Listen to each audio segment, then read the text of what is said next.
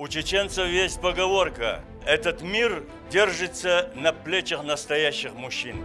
Наряду со всеми народами мы, чеченцы, должны защищать интересы этой страны. Наши отцы и деды за эту страну воевали.